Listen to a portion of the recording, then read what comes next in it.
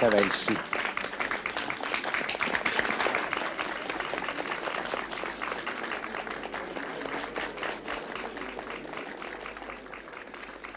Пригласили мы вас сюда, чтобы посмотреть новую постановку телевизионную моей пьесы. Это несколько капель. Почему называется вот несколько капель?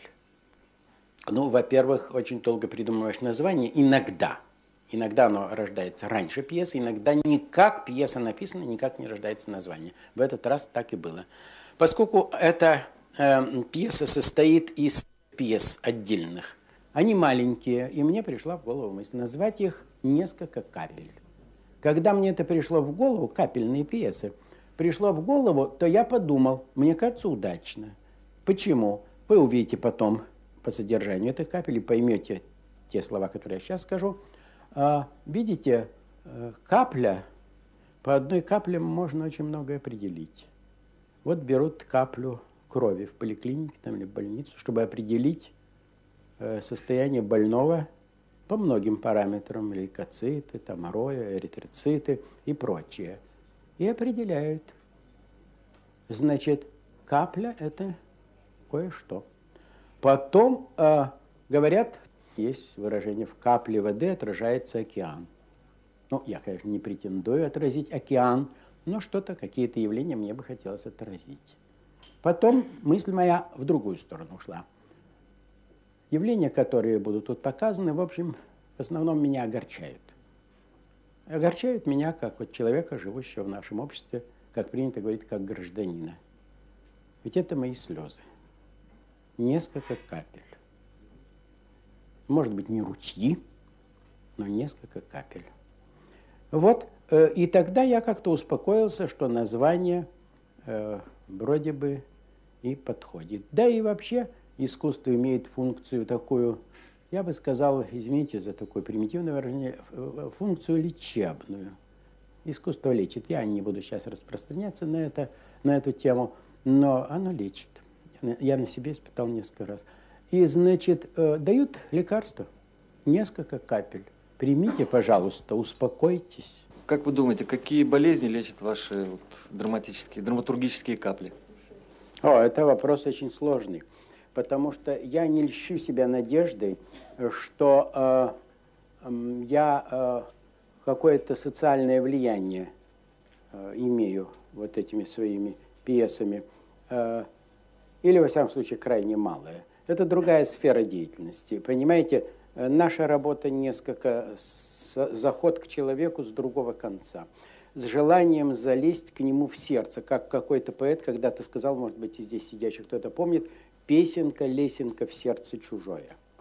Так же и пьеса, так же и проза, лесенка в сердце чужое. Потому что, так я думаю, во всяком случае, э, главное, это надо человека настроить, вот как настраивает инструмент перед тем, как исполнить какую-то очень хорошую вещь, инструмент настраивает, чтобы он не фальшивил, чтобы была нужная тональность, чтобы все было изящно и хорошо. Так человек должен настраивать себя на жизнь. Причем на всю жизнь настроить себя невозможно. Так же, как на инструмент. Вы знаете, исполнит вещи, а потом опять что-то там подкручивает, колки, да, подтягивает струны.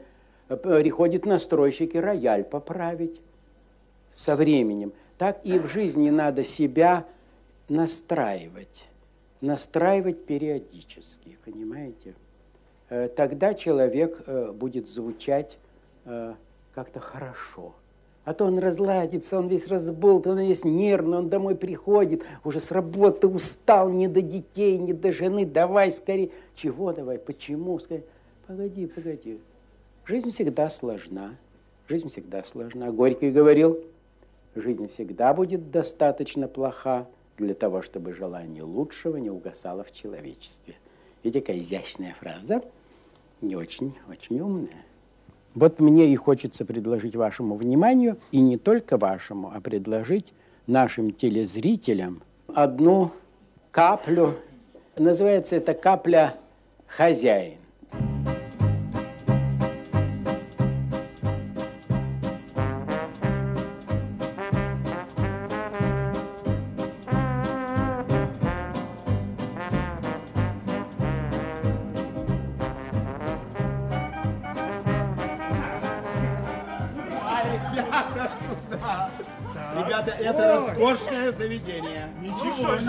Отметим. Ну а как же, здесь знаешь, как готовить? Тут пальцы. Я точно говорю, я сюда наведывающий. Все, правда, вот тут вас сносно кормят. Ген, Уж чужих имений мне не знать. ладно, рискнем. Закажем цыпленка табака. Я не могу. Ну не нужно табака. что, Ну ну надоело. Ну надоело табака. Надоело. Жульенчик. И жульенчик твой вот где у нас, ты понимаешь? Мы сейчас пойдем на компромисс. Заказываем стол. Ладно, ребята, пока мне рыбу. Разумеете, рыбу мы сейчас... Местов граждане нет. Ну как нет? Совсем нет. Разрешите я посмотрю? Не может быть. Отойдите от двери, молодой человек. Спокойно, я только загляну. Что там, зоопарк? Чего глядеть? Не видели, как люди кушают? Там есть свободные столики. А я говорю, нет, я здесь хозяин, знаю. Не лезь по-хорошему, тебе тихо, говорят. тихо, тихо, Володя, только без рук, без рук. Листов нет. Сказано тебе, хулиган. Вы с ума просто сошли. Это же молодой ученый. Горностаев Владимир Яковлевич. Он кандидат наук. А вы... У меня у самого голубушка сын член-корреспондент Академии педагогических наук, а дочь профессор по физике. Мы кандидатов в дом и на порог не пускаем. Мы если пирог с рыбой печем, то вот какую рыбину покупаем. Не то что кандидат. Кандидат что? Мелочь, кости. Ешь да плюешь. Царь, ну посмотри, царь, все. Ген, А, а вы что здесь? Братцы кролики, вы что, меня ждете? Нет, вот, не пускай. Мозочки, не волнуйтесь. ну. Ну, я не волнуюсь. Здравствуйте, Федор Ипатьевич. Как жизнь? Местов нет. Володя, Володя, погуляй, погуляй. Володя, погуляй. Федор Ипатьевич, дорогой, я понимаю, что местов нет. Откуда этим местам-то взяться? Ну что это? Ресторан же не метро ведь, верно? И всех не втиснет. И потом ведь кому ресторан, а ведь кому и на троих бутылочку в подъезде, на холодочке, а, верно? Вот. А у нас вот сегодня вот эта очаровательная дама защитила диссертацию. 18 шаров, все белые. Ну, ну как это не отметить-то, Федор Ипач, а? Местов нет. Федор Ипач, ну, дорогой, ну что с тобой, а?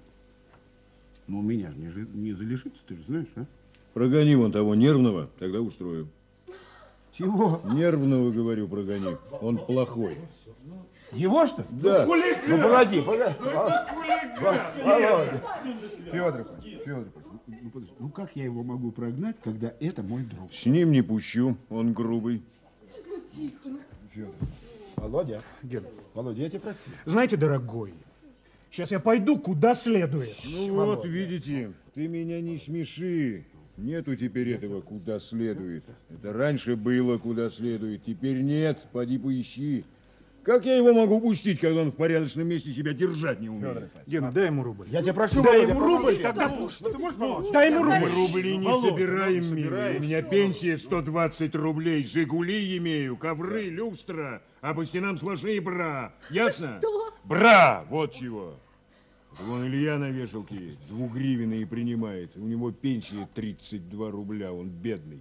Так, ну в конце концов, ну зачем теряем время? Ну что? Я пойду к директору. Погоди, Володя, ну не какой надо. Директор? не надо. Гена, у меня если да, то Ну, да. я- тебе если говорю- нет, то нет. Володя. Я принципиальный человек. Дорогой, где директор у вас? Справочные на улице, за углом налево.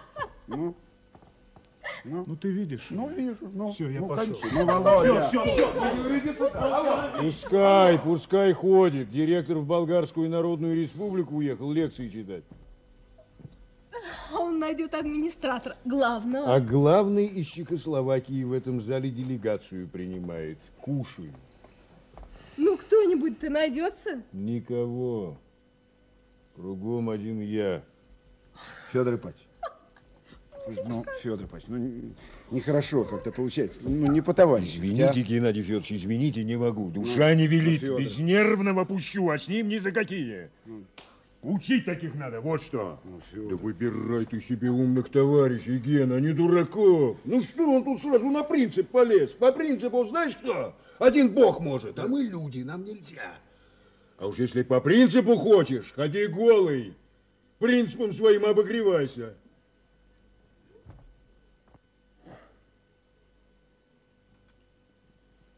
Рубликом меня взять захотел. Ишь, тут на днях вижу, раздевается на вешалке бывший начальник мой с женой, с детишками, четверо их. И сюда идет на меня в дверь, а я местов нет. А он мне, здравствуйте, говорит, Федор Ипатьевич, это ж я, говорит, бывший твой начальник Будальников. Здравствуй. И руку свою потную лапу тянет. А я зуб на него имел. Обидел он меня, когда работали вместе. Важничал очень. Я говорю, здравствуйте, бывшее мое начальство. Только местов нет. Он тут юлил у меня у двери, юлил. Очень ему хотелось дочку свою, младшую, день у нее рождения был, по высшему классу отметить. А я не пустил. Да еще нарочно при жене-то и детях в положение поставил. Он аж красный сделался до лысины, а дочка чуть не заплакала. У меня потом неделю 1 мая на душе было.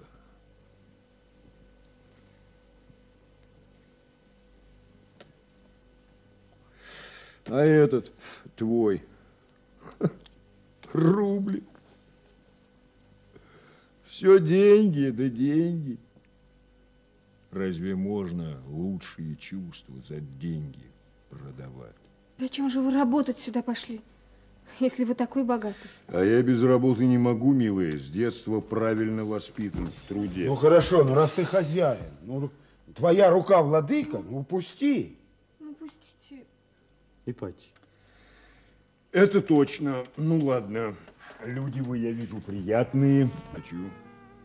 Почему это? Говор мне твой не нравится. Какой говор? Тон, не тем тоном ты со мной разговариваешь. А каким прикажете?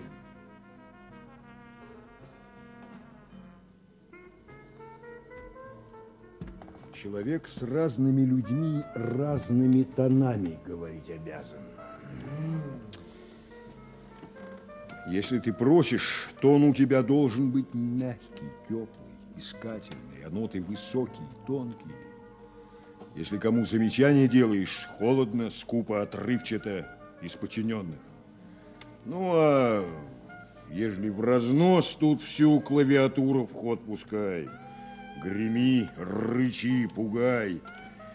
А если за дамочкой хочешь поухаживать в целях, тут с придыханием, с дисконтом или на басах гур-гур-гур-гур.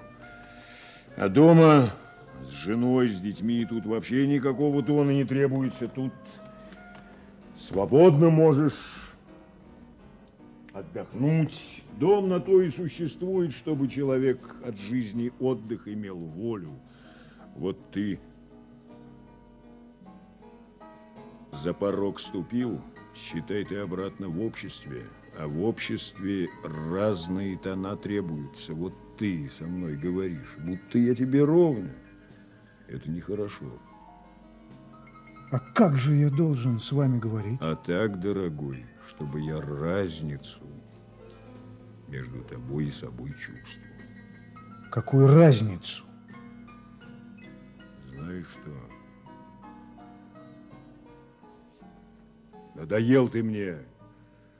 Я тебя жизни учу, а ты мне свои принципы хочешь показывать? Видал я всякие разные принципы. В гробу, в синих тапочках. Может быть, в белых видели? Я видал в синих.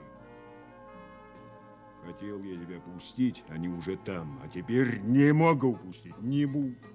Не могу. Так, они там. Куда? Я вам покажу тон.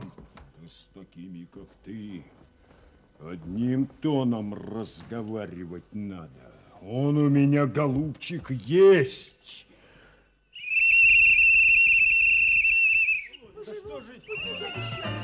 Обещал.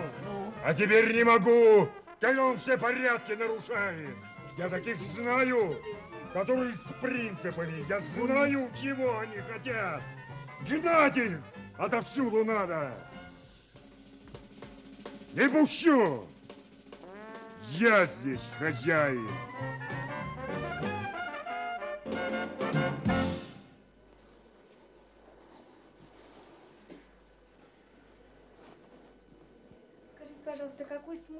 Вложили в название пьесы «Хозяин»? Ой, мне кажется, это ясно, что это название ироническое, хозяин. Ироническое название. Ведь, понимаете, ну какой же он хозяин? Он обслуживающий персонал. Я иду в парикмахерскую, я иду в парикмахерскую, меня обслуживает парикмахер. Хорошо, там чистую, значит, простыночку сюда накинет, очень аккуратненько пострижет, тут побреет эти височки, одеколончиком. Э, Я, э, так сказать, меня обслужили, она обслуживающий персонал. Вечером она идет в театр, и я на мою пьесу. Я являюсь обслуживающим персоналом. Я когда пишу пьесу, ну, не, не в тот момент, когда пишу, а вообще-то думаю, ведь вечером придет тысяча человек в зал на разговор со мной. Я обслуживаю тысячу человек. Я должен быть интересным, содержательным, сказать что-то новое, интересное, в хорошей форме, в интересной. И зритель вправе, как еще писал Буало, э, э, зритель покупает вместе с билетом право свистеть и хлопать. Значит, он может свистеть, но у нас, так сказать, публика такая э, воспитанная, она просто в антракте уходит. Да, вот, деликатная публика, если не нравится. Вот этот швейцар, можно было продолжить каплю этого, вот это интересно бы было, но я бросил эту затею. Вот он кончил работать, и он идет в парикмахерскую. А в парикмахерскую он старый человек. Он все-таки за день устал, много на ногах. Чего тут говорить? Ну и он идет в парикмахерскую. Вот свою бороду привести такой еще более холеный вид. А две парикмахерши стоят и болтают. А, Дуська, ты знаешь, вчера я купила кофточку. Ай, какая. Он говорит, «О, простите, я вот пришел. Подождите, подождите. Значит, А он, он там, потому что они хозяйки. Да, ну подождите, вы можете подождать? У меня и в парикмахерской бывали очень смешные истории. Очень, бывали их очень хорошие. И везде есть остроумно. Я помню, как я все время в одной парикмахерской стригся, у нас ее закрыли. И там милая такая девушка стригла, стригла, стригла меня. И уже знала, кто я, чего я. Потом что-то я стригусь, э, она, э, я говорю, видите, волос-то уж как мало. Она говорит, ну уж вы все хотите. Это очень мило, верно? Так что я не хочу сказать, что обслуживающий персонал весь. Наоборот, я очень встречаю иногда людей остроумных и приятных. Я всегда и люблю это повторять, что самое драгоценное на земле – добрые человеческие отношения. Ай, как это хорошо. Виктор Сергеевич, у меня вот такой вопрос. А как бы вы сами себя повели в подобной ситуации? Если бы он не пускал, Да. я бы, конечно, тоже разнервничался, э, стал нервничать, а, и, э, но старался бы, конечно, сдержаться, хотя э, с возрастом становишься э, более раздражительным, э, чем молодой. С этим бороться вы считаете? Вот я могу своим, так сказать, перышком. А вам не кажется, что единственный, так сказать, если можно так сказать, способ борьбы, это не принимать тех условий игры, которые навязывают такие люди? Ну да, А, е- уходи. а если мы А какой эти же? условия Хорошо. принимаем, Да. тогда вправе ли мы возмущаться? Нет, совершенно верно. Совершенно верно. Это, это обратная реакция, вызывает раздражение у тебя. Из-за чего я говорю, что я раздражаюсь и стараюсь уходить? Потому что я, с- я становлюсь похожим на него, я стараюсь уходить. Значит, вы считаете, что лучше все-таки уйти, простить? В данной ситуации, да, И вообще в таких ситуациях, я считаю, это вопрос серьезный, мы сейчас затрагиваем этот вопрос, и, может быть, он не входит даже в нашу сферу, вопрос борьбы. У меня очень за жизнь выработался взгляд э, такой на борьбу, и вот вы об этом говорили, очень осторожный, потому что в процессе борьбы, вот как этот молодой человек, который хотел туда пробиться, он становится тоже сам агрессивным, сам становится наглым. И вот имейте это в виду все, вот кто здесь сидит и кто нас слушает, что бороться надо со всеми явлениями, но очень зорко следить за собой. В процессе борьбы ты можешь сам деформироваться. У тебя сильный противник, ты ожесточаешься, начинаешь применять хитрые, кривые приемы, брать на вооружение его кривое оружие, и ты, ты сам деформируешься. И когда ты уже победишь и, допустим, станешь на его место, то ты можешь оказаться хуже его, который был, с кем ты боролся. Происходит такая деформация человека. Между прочим, я вам прочту сейчас коротенькое очень стихотворение Пушкина, которое просто у меня, э, я его читал раньше, но не обращал внимания. Знаете, Пушкина ведь надо читать всю жизнь. И вот я вдруг наталкиваюсь, вот то, о чем мы говорим. Э, э, значит, «Не пленяйся бранной славой, о красавец молодой, не бросайся в бой кровавый с каравахской толпой. Знаю, смерть тебя не встретит. Азраил среди мечей красоту твою заметит, и пощада будет ей. Но, боюсь, в пылу сражений ты утратишь навсегда скромность робкую движений, прелесть неги и стыда. Здорово. Гений, гений, гений. Как вот я, как меня всегда что-то, когда ты читаешь, то чем ты в это время озабочен, чем ты, ну, как говорят, болеешь, из книг тебе прямо идет в душу. Вот это стихотворение, как я увидел, ахнул, думаю, господи, я как раз об этом думаю, как Пушкин. Ай-яй-яй-яй, ну что тут? Да. Да, как он точно. Вот. Да, значит, давайте посмотрим вторую каплю. Называется она «Заступница».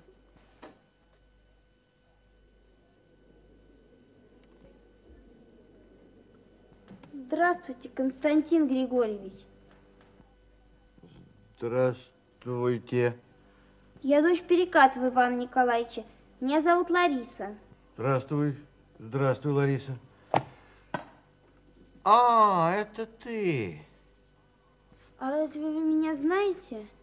А как же. Мне мой Вовка о тебе рассказывал. Вы с ним в школе за одной партой, да? Да. Ну вот, садись, Ларис, садись. Вот бери кресло. Присаживайся. Уж не ты, Лариса, моего Вовка щиплешь, а? У него вот тут, тут синячище.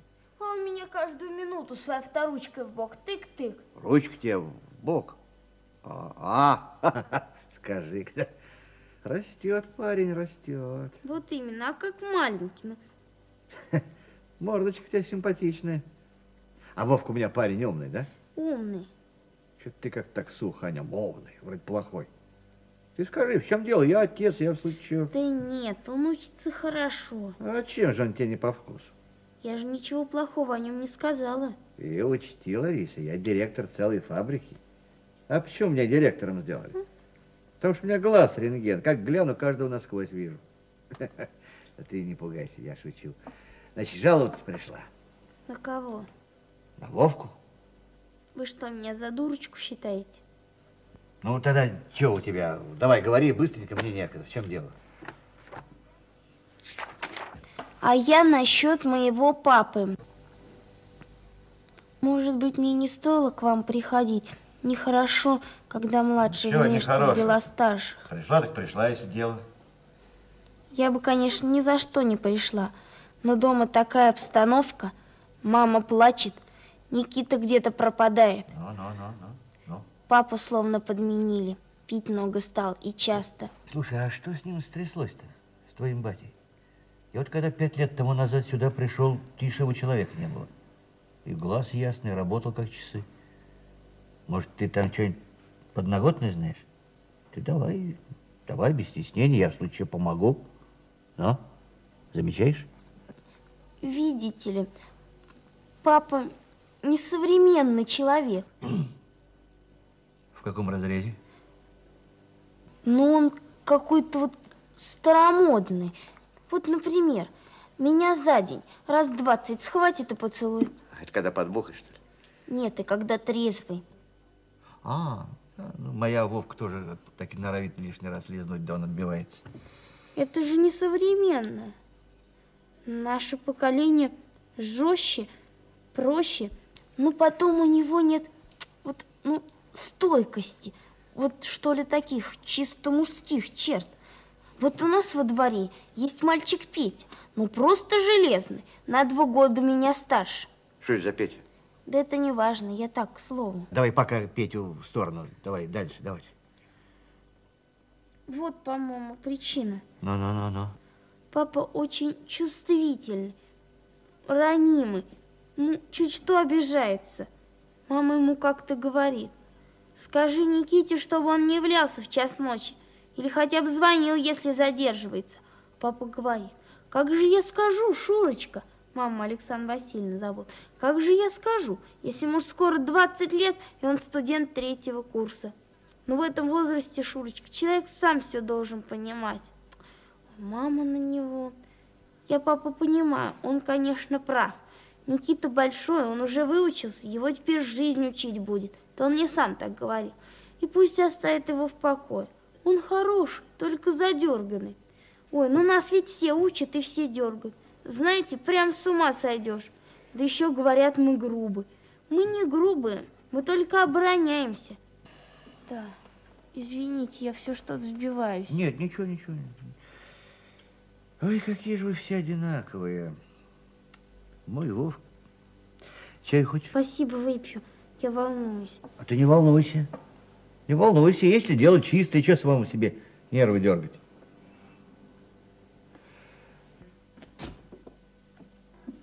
Два чая с лимоном. Мне, пожалуйста, без лимона. Значит, ты говоришь, что отец по слабости воли пить начал. Это, так сказать, причина, а повод другой. Ты отличница, что ли?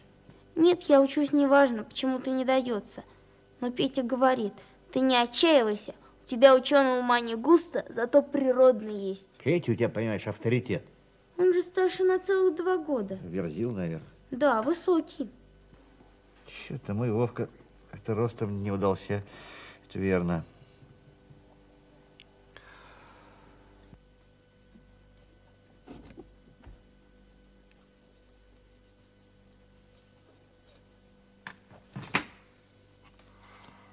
Спасибо. Здоровья. Э, Спасибо, Ирина Леонидовна. Пожалуйста, Константин Григорьевич. Вот. Бери баранки. Спасибо. Вот тут бутерброды с колбаской. Бери, бери. Так.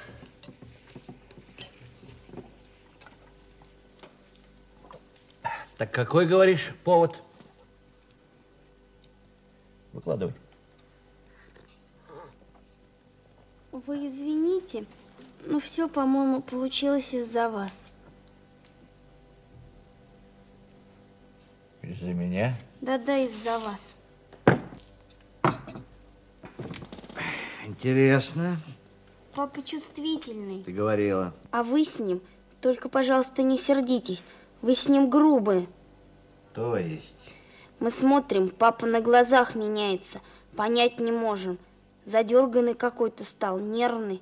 По ночам стонет. А потом он, я слышу, как-то говорит маме.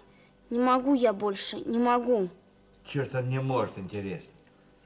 Не могу, говорит, я больше с Усляковым работать.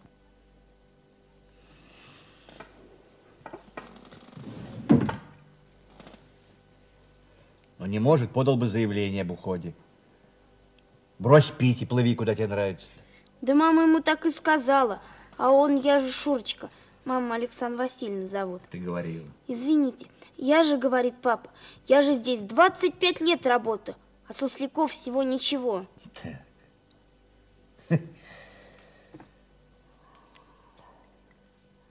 Может, мне самому тогда заявление об уходе подавать?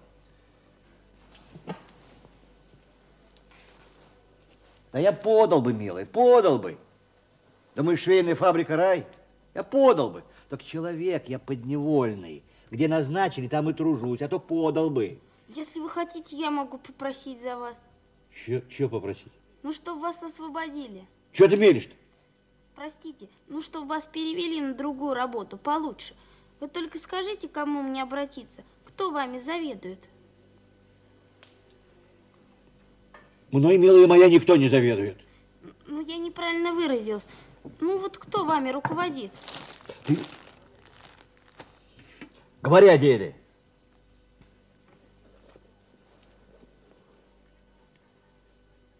Я пришла просить вас не разговаривать с папой грубо и не оскорблять его. Когда это я вас оскорблял? Когда? Как когда? Зачем, например, вчера вы ему сказали? У тебя что на плечах, голова или катка с капустой? Ну, я не помню, что я там говорил. У меня дело выше горла, всякую мелочь не упомнишь. Потом какое-то оскорбление, это замечание. У моего папы на плечах голова, а не катка с капустой. Так и знаете, голова. Папа наизусть половину Пушкина знает, половину Лермонтова, половину Некрасова, даже прозу Гоголя знает. Знаете ли вы украинскую ночь? Нет, вы не знаете украинскую ночь. Минут двадцать подряд читает. Я всегда под это засыпала, когда маленькая была. Мне говорит все что-то, говорит. Да, на той же неделе вы папе сказали, катать бы тебе чурбаки, как та мартышка, а не в плановом отделе работать. Разве так можно? И за что? За то, что папа, извините, вам какую-то липовую бумажечку не согласился подписать. Липовую? А тебе, доченька, папа твой не рассказывал, что без этой липы могут у рабочих премиальные в конце квартала калошей накрыться, а? А я не знаю. А ты знай. А то вы в своих книжках одни дело да интегралы учите. Мы учим, чему нас учат. Учат вас. На той же неделе вы при всех кричали на папу, называли его килькой. Мой папа маленький, худенький. Может быть, он и похож на рыбку. Да на всех я кричал, на всех. На всех это меня не касается. Кто позволяет на себя кричать, значит, он того стоит. А папа из деликатности не может вам отвечать. А дома... Да что особенно-то, что? Как что? Что? Вы топчете его человеческое достоинство. Чего топчу? А если у человека растоптать его человеческое достоинство, он и не человек после этого будет, а так, на все способным, и на воровство, и на обман. Он же не человек, если без достоинства. Или с горя сопьется, может быть, и с собой покончит. Папа не может жить, когда его унижают.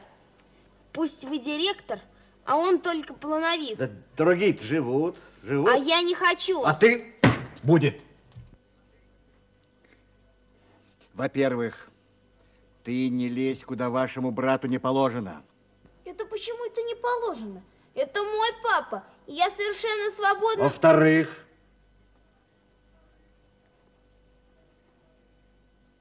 во-вторых, слушай, ты на фабрике хоть раз в своей жизни ты была? Была на вашей, на экскурсии. Ну и как? Интересно, только что-то много грязи. Где? И в пошивную у закройщиков. Уберу. Кого? Никого, а чего? Кого?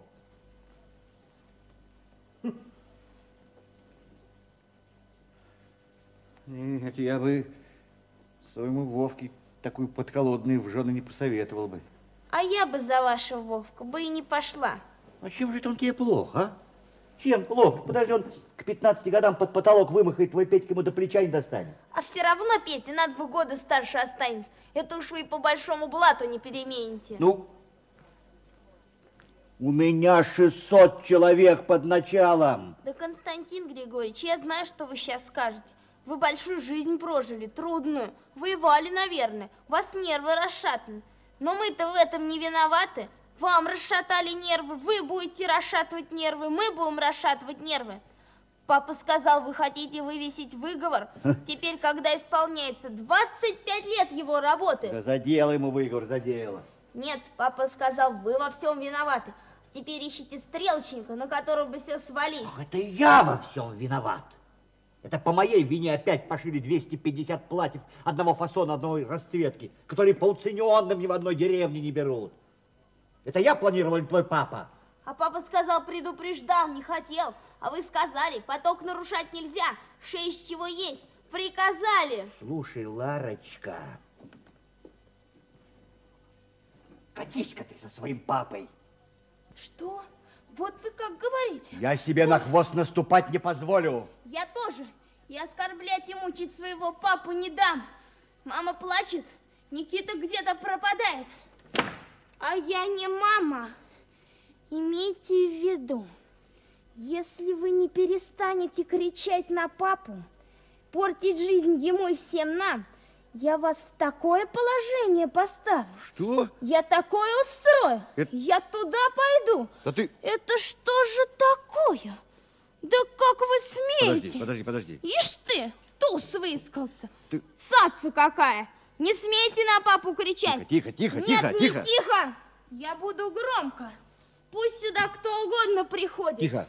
Имейте в виду, я в таком возрасте, когда мне ничего не страшно. Я в кружке авиадела занимаюсь. Хорошо. Я в кабине настоящего самолета сидела. Может быть, и в космическую ракету сяду. Тихо. Я все могу. Я вам такое сделаю. Вас потом и с класским сторожем никуда не возьмут. Не смейте на папу кричать. Слышите? Не смейте.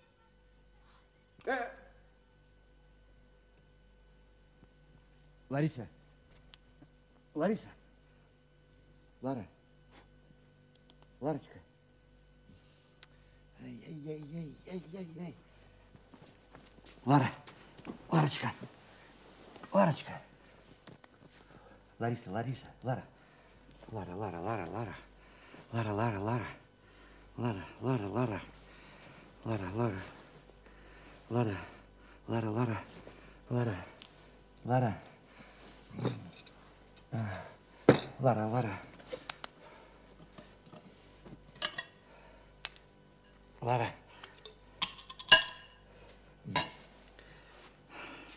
Лара. Лара. Лариса, что с тобой? Лара. Лара. Лара, Лара, Лара. Ну? Ты что? Ты что, с ума сошла? Ты что, дурочка? А?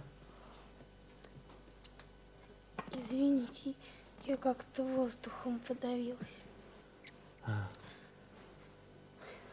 У меня больше нет сил. Я больше не могу. Ну, ну, ну, ну, ну, ну. Лара.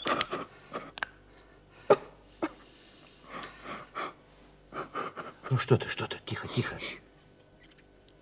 Я бы ни за что не пришла. Но вчера он упал на лестничной площадке. Соседи выбежали. Вы видели? Ну, тихо, тихо, тихо, тихо, тихо. Вот как ты папу любишь. Хорошая ты девочка. Так ведь не все папу любят, да? Это хорошо. Я не буду, слышь, я больше не буду.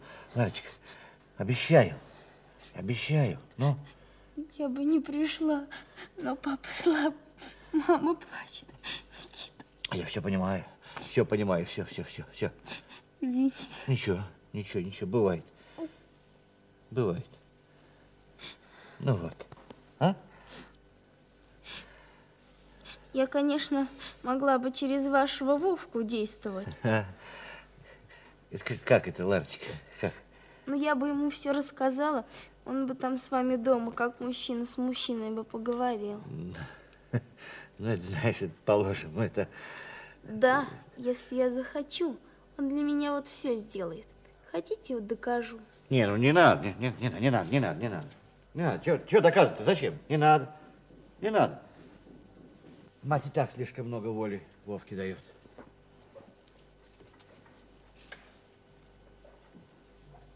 Извините, нам волю никто не дает. Мы ее сами берем. Я не хочу через Вовку. Нечестно будет, еще в долгу останусь. Ну да, ну да. Я послежу за собой. Постараюсь. Вот.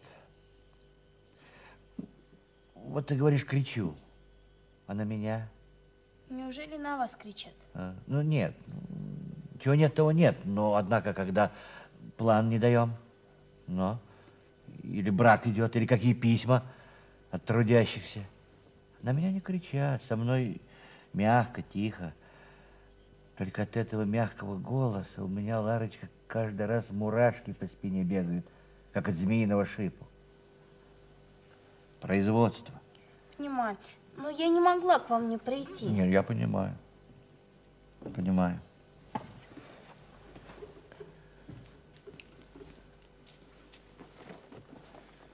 Только папе, пожалуйста, не говорите, что я у вас была. Он не поймет, расстроится. Он же не современный. Ну, ясно. Могила, ну что ты, не полслова. Только и ты пойди мне навстречу. Вовке моему не гугу, а? Ладно. Нет, он парень хороший, но тоже слишком много от людей требует. А люди, Ларочка, они люди. Ой, все вы в этом возрасте, скорее бы вы вырастали, что ли. До свидания. А? А, до свидания. Ага. Слушай, а что этот Петька только на два года старше и все достоинств? Да ваш Вовка тоже хороший. Но он не в моем вкусе. До свидания.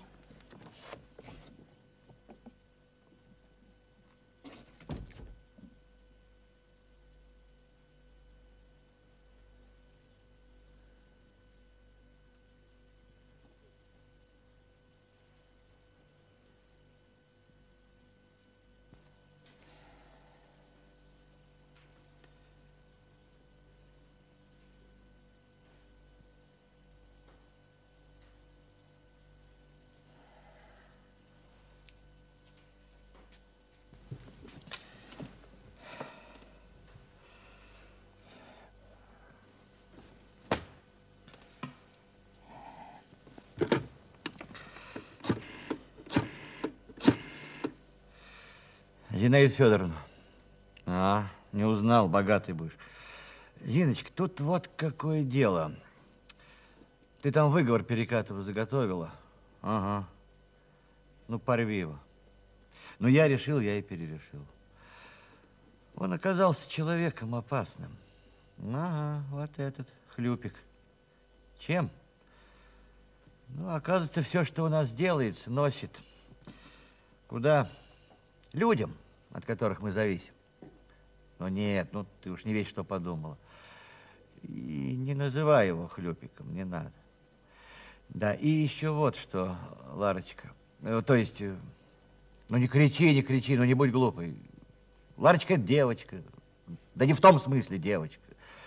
Это школьница, шестой класс кончает. С моим сыном за одной партой сидит. Да, вот что еще, Зиночка. Я сегодня сразу домой пойду кино отменяется. Жена звонила, ей не здоровится. И с Вовкой поговорить надо. Что-то у него там не заладилось. Да нет, учится он хорошо. Мне с ним как мужчина с мужчиной поговорить надо. Так что не жди. Ну, потом сговоримся. Ага. Ну, будь здорова, Ларочка. Э, то есть, Зиночка, Зиночка. Черт. Алло. Трубку повесила.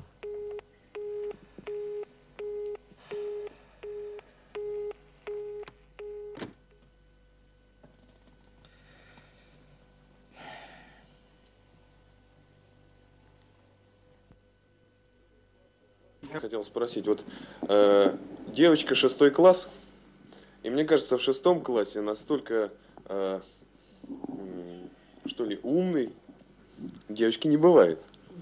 Да. Нет, ну чтобы, чтобы прийти потом к директору и разговаривать на такую тему, мне кажется, вообще конфликт был бы разрешен несколько иначе. И тут директор, он идет как бы в поддавки с ней в разговоре. Да, это шутка. Вот за счет шутки Да, многое но как раз видите, скидывается на эту тему счетов. был у нас маленький диспут в Центральном детском театре, и кусочек даже из этого диспута показывали по телевидению. Одна девочка сказала вот так же, как вы, ну, девочка-школьница, говорит, я не представляю, как может пойти девочка. А другая девочка вдруг довольно резко, так наклонив головку, сказала, а я бы пошла. Я очень люблю своего папу, я бы пошла. И я по ее э, характеру, по ее интонации, по ее взгляду понял, что такая пойдет. Конечно, случай, повторяю, исключительный. Ну, пойти-то она пойдет, но так разговаривать она не сможет все равно. Опять-таки не я судья. Так что я предполагаю, что это может быть. Может быть, и меня не жизненная правда беспокоила, а явление беспокоило. Понимаете, рикошетом вот на этой девочке. Мы ведь часто не знаем, от чего наши дети нервны, от чего от, не- от нас они отделяются, отдаляются. Мы часто не знаем. Они ведь очень скрытные. Виктор Сергеевич, э, вот вам не кажется, что в этой капле, пожалуй, самый интересный персонаж э, отсутствует? Это вот этот деликатный папа. Э, Дело в том, что... Вот первый у меня такой вопрос. Вы сами вот этого папу как себе представляете? Такого, каким его...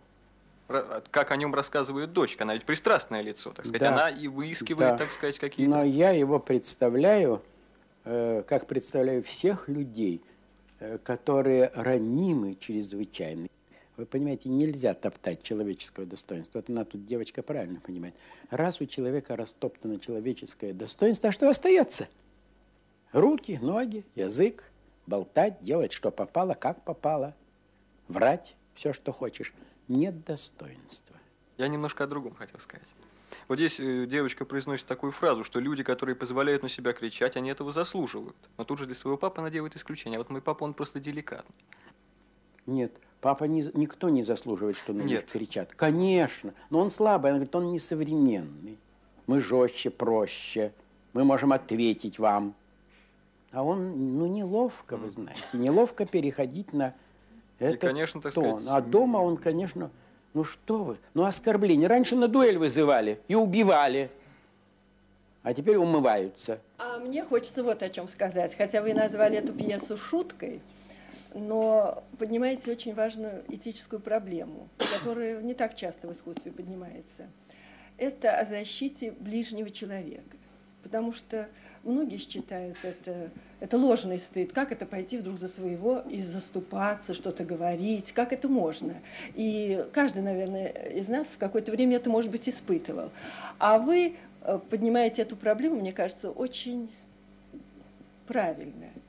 И вот так, когда смотришь этот сюжет, думаешь, а так и надо. Потому что как ни ближний знает своего родного человека.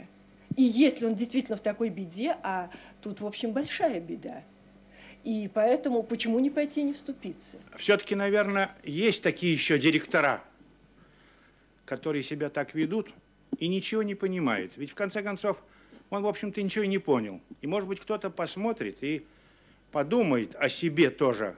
Может быть, как-то по-другому надо себя вести на производстве, возглавляя даже такую небольшую организацию, как швейную сам, мастерскую или фабрику. Да, я понимаю тщету своих усилий, но тем не менее я убежден, что все равно надо против этого бороться, а бороться за другие отношения, хотя очень хорошо помню строчки Некрасова «И погромче нас были витии, да не сделали пользы пером. Дураков не убавим в России, а на умных тоску наведем». Вот я совсем не хочу на вас наводить тоску, но я льщу себя надеждой, что все-таки поубавится это хамство. Вот, пожалуйста, посмотрите другую каплю на другую тему. Э, называется, то есть не называется, а жанрово я ее определил, комедия характеров. И называется «Квиты».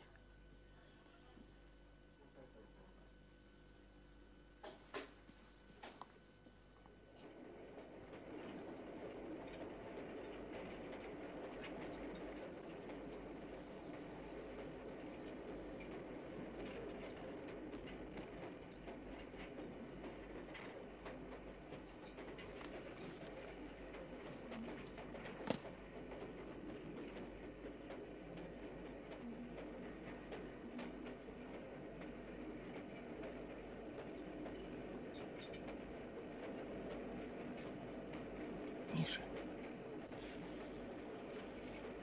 Миша.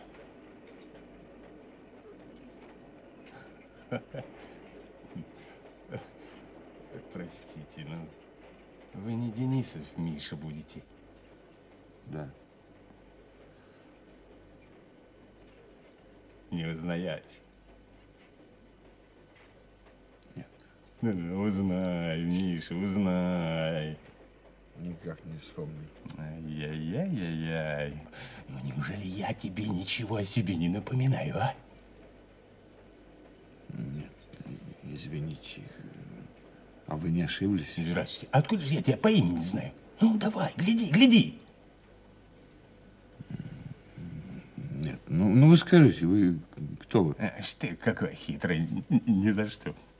Мишка, ведь сейчас сойду, исчезну, мучайся потом. Если бы ты видел, какая у тебя сейчас эта физиономия.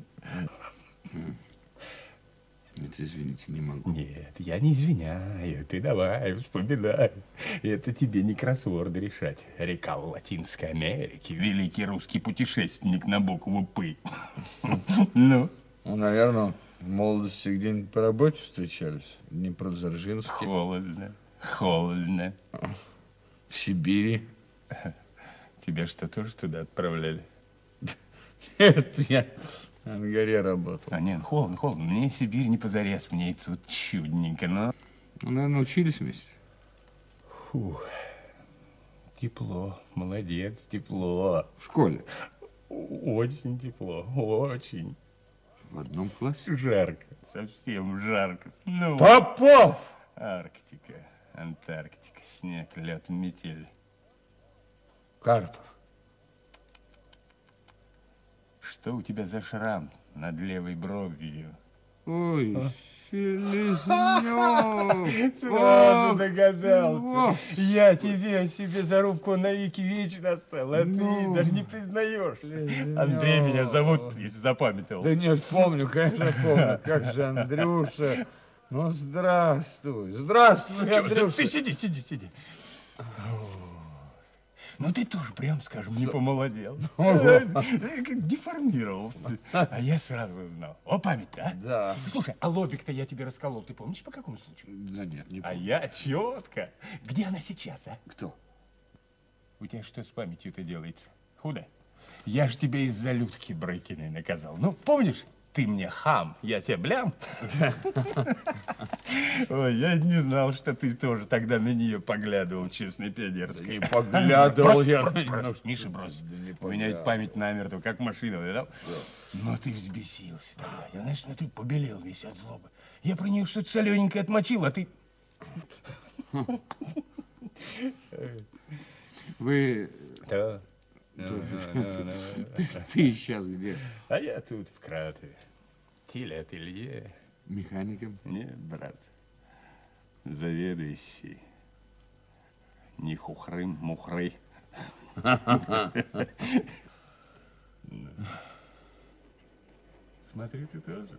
Блюдь, ты выбился, а? Ну. Да вижу, вижу, вижу. А, Он и дал костюмчик классный, ботиночки. Сейчас, сейчас. Ну, служишь ты где? Да, ну, окончил А я, Баумский. брат, воевал. Потом... Я тоже воевал.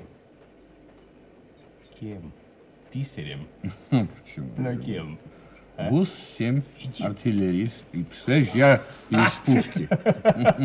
Ну, это комично, это комично. А что это у тебя за медалька? А, это медаль лауреата Ленинской премии.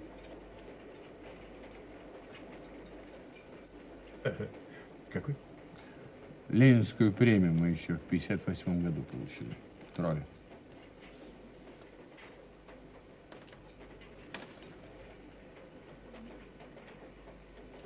Что? Золотой? Кажется. Что, вот так вот не снимая ее носишь? Не всегда. Сегодня вот конференция была. Смотри. Э, Забыл. Как твоего отца звали? Федор, кажется? Нет, Алексей. А, да. Значит, Михаил Алексеевич будешь. Михаил Алексеевич. Выходит, вроде как а, русский царь, а?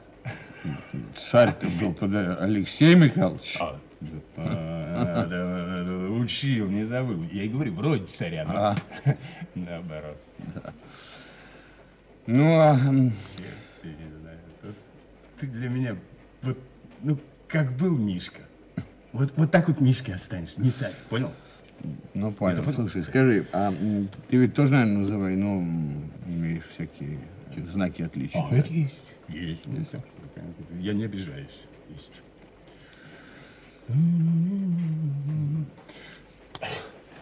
В Москве живешь? Да, в Москве. Квартира, поди. Три комнаты, а? Четыре. Иди ты. А жильцов сколько? Трое. Жирно.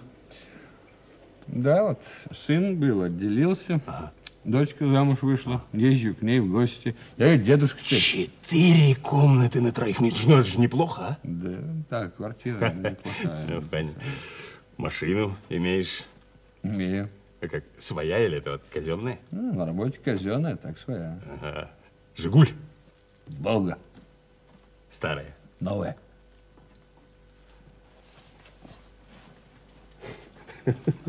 Да, тоже не баран накашлял. Я. А ты чего в электричке трясешься, а не на машине? Да, тормоза барахлят, чинят.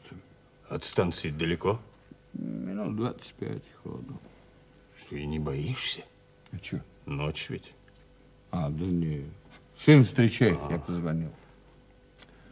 Куда позвонил? На дачу. У тебя что там, телефон есть? Да, есть.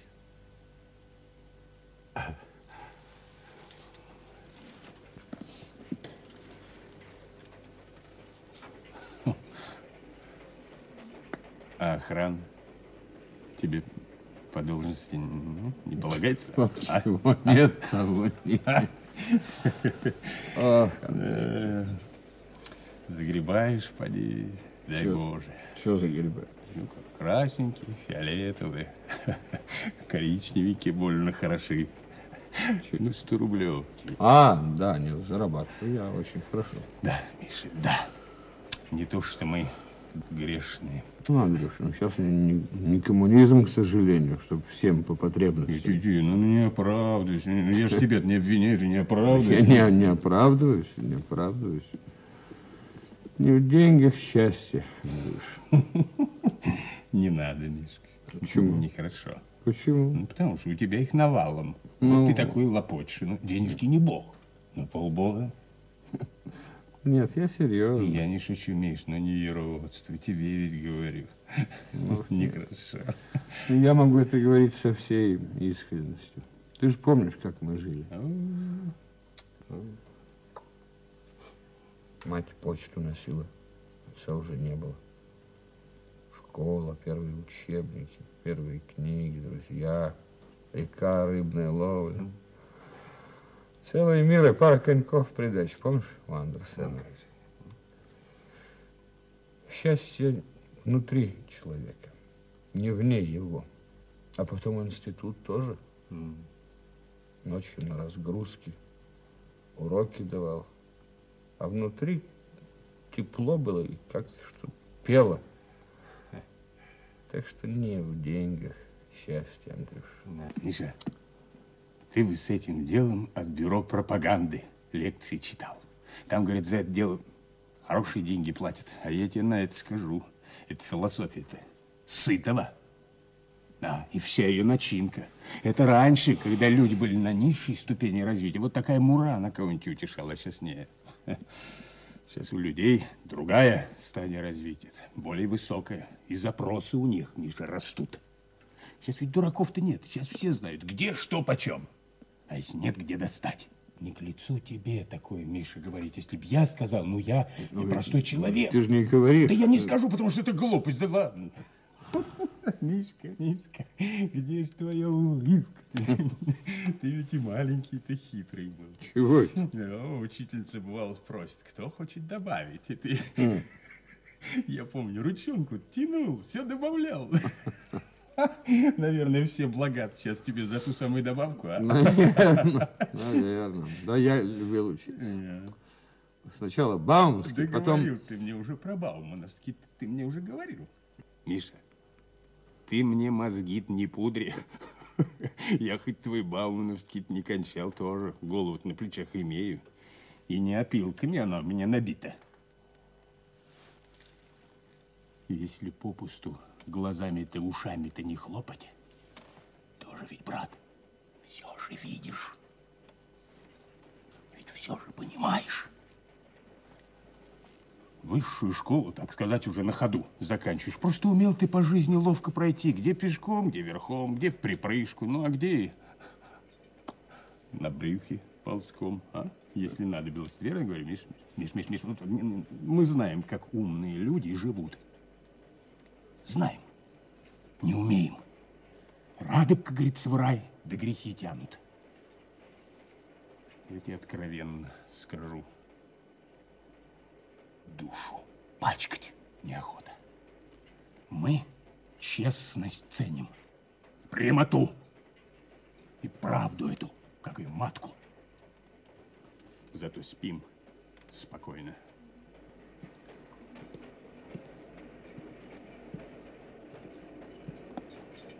Да ведь ты тоже, кажется, неплохо живешь. Вон целую сетку апельсинов купил.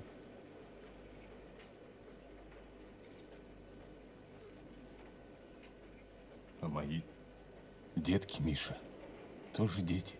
А не насекомые там какие-нибудь. Но им же ведь тоже витамины-то требуются. Ты меня уж совсем как-то криво понял. Да ладно, Миш, все я понимаю, все я понимаю. Так ради бога, ну не считай ты меня за недоразвитую. Я все понимаю, хоть не лауреат.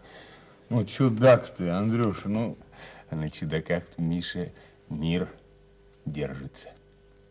На чудаках. Да вот на таких простых людях, как мы, трудяги.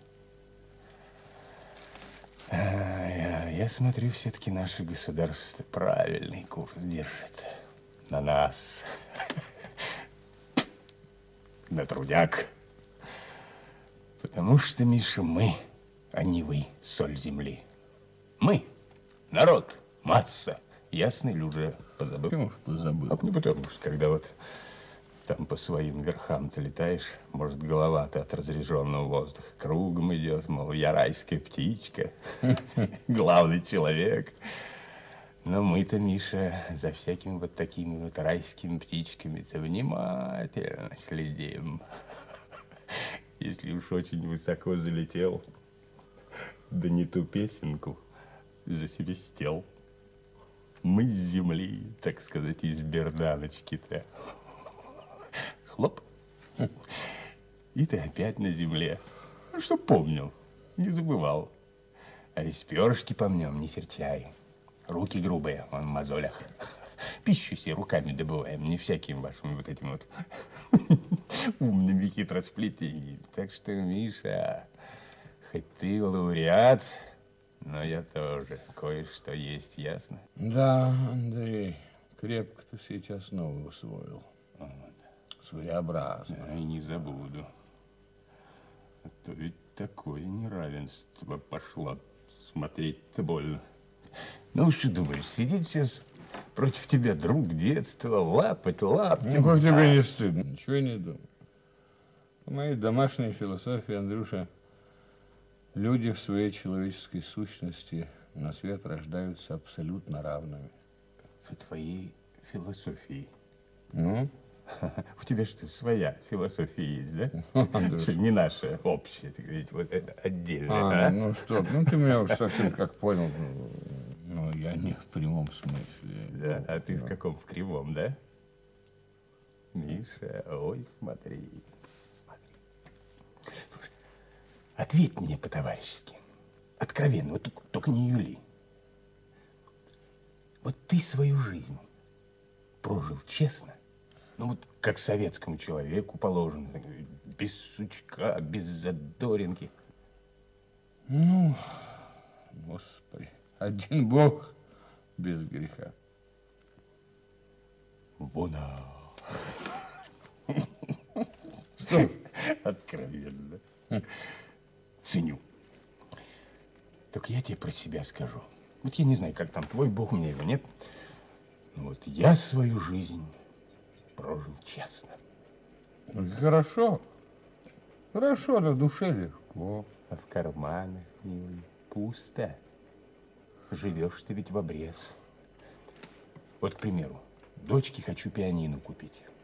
Коплю, коплю, все не тянет. Девочка способна. Ведь слух, говорят, есть. Ну, играл в себе, доиграл. Шуршиков нема.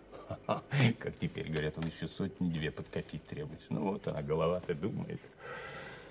Болит. Тебя, наверное, такие заботы не гнетут.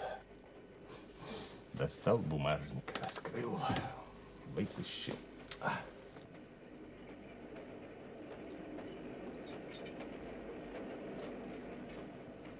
Андрюш, ты не рассердишься? А на что? Ну, только скажи честно, ты не, не обидишься? Ну да, ну говори, что, ну говори. Можно мне предложить тебе эти деньги? Я как раз получил у меня с собой. Ты что, хочешь мне 200 рублей дать? Да. Тебе не стыдно? Ну, что особенно-то? Отдашь, когда буду. Да это отдал, отдал бы, не зажил, не украл. Ну, так возьми. Положи обратно. Положи обратно. Ну, я же от души. Да душа-то, милая, у тебя черна. Не стыдно? Ну, честное слово. Я спрашиваю тебе, не стыдно?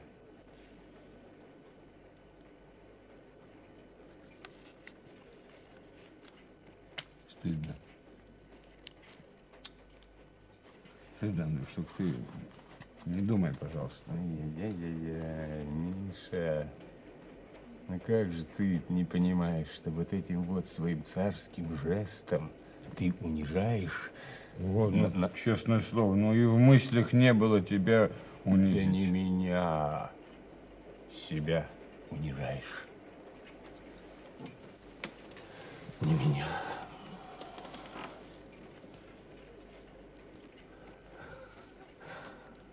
Вон как бумажничек-то набит. А уж на сберкнижке-то я себе представляю. Ну, вот я и говорю, возьми. От меня не отвалится. Да вот возьму и возьму, что тогда ты скажешь? Ну, что хорошо, я буду рад. Не лезь, не лезь. М, Обрадовался. Где у тебя совесть, а? Не Надо- лезь, говорю.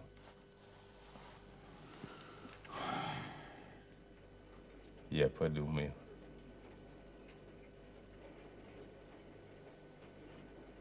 Ну ладно, давай. Давай, возьму для интереса просто, для интереса. Леший с тобой. Вот, пожалуйста. Не суй. Не суй. Еще не решил. Думаю. Не хочется мне тебе радость доставлять. Просто как подумаешь, что ребенок своими пальчиками по этим белым косточкам пианино бить будет. Леша.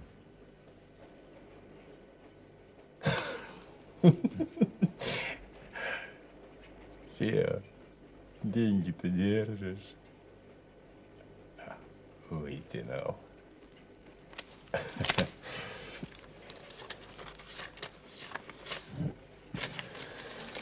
Беру против охоты. Только ради ребенка. В скорости отдам, не бойся. Я не боюсь. Да ладно, Миша, ну всю твою психику по глазам вижу. Это не так светло. Эх, Миша, Миша, сделал я на тебе зарубку. А тебя, может, еще тогда, в детстве, убить надо было. Для блага нашего общества, для равенства. Шучу. Но не серчай. Ползай!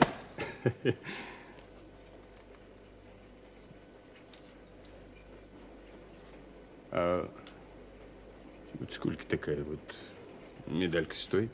Не знаю, не прицелился. Торговать я не собираюсь. Нацепил, значит, чтоб все видели.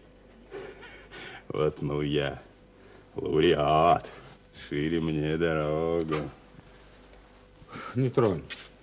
Что? Ну, убери, говорю, руку. Нет, не уберу. Последний раз говорю. Убери. Не уберу. Ну, я ж тебе сказал. Хам.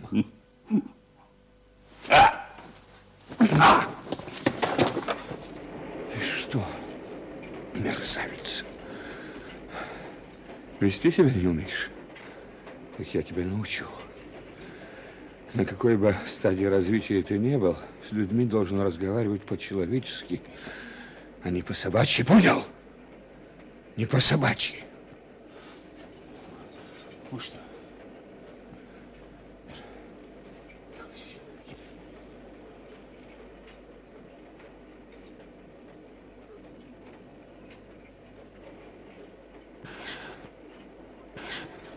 Понял? По-собачьи. Михаил Васильевич, Михаил Васильевич, я дурил просто. Я, я дурил просто. Вот вы, вы не подумайте, я никогда против не выступаю, что я куку. Я уважаю вас от радости, что у меня такой друг. Но друзья все-таки. Ведь друзья же в одном классе учили. Михаил Васильевич, Михаил Васильевич, я в Кратове шел. Лесная семь. Зашли бы, ведь по пути же у меня тоже домик порядочный. Гаражик имею, пять комнат, фиолетовой краской покрасить. Такая красота.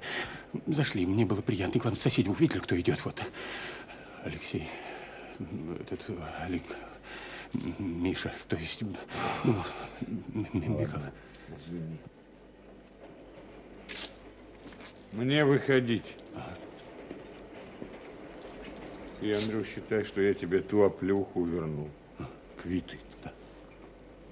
Ну что, ну что, Михаил Да нет, смотрю. Что? Не поцарапал я тебя, как ты меня тогда. Нет, чисто. Так у меня тогда в руках железяка была. Пока. Пока.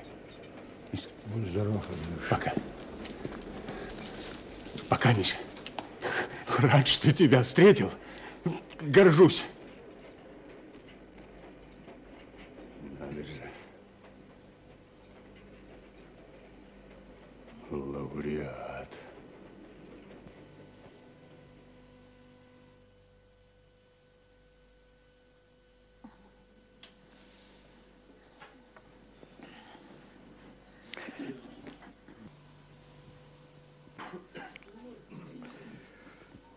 Сергеевич, скажите, пожалуйста, вот эта тема капли была взята из жизни или нет? Да. Да. Вы знаете, из жизни и из себя. Автор очень часто берет из своих ощущений явлений жизни, из своих ощущений разных характеров. Кажется, есть некоторый парадокс. И люди могут найти в словах Селезнева, казалось бы, много правды. Неравенство, там он говорит, да, одни хорошо живут, другие плохо. Это есть, это есть. Но понимаете, вот это подлое чувство зависти, мерзкое чувство зависти, вот оно я и хотел показать. Вы понимаете, это тоже живет неплохо. Я помню, в детстве мы жили в Костроме бедно, бедно, бедно. Стулья были какие-то кольченогие, клееночка была, правда, на столе, но так всю жизнь не была эта зеленая клееночка. Там порвалась, потерлась. Бедно жили. А напротив домик мой товарищ, с которым я в школе учился. Очень хороший собственный домик.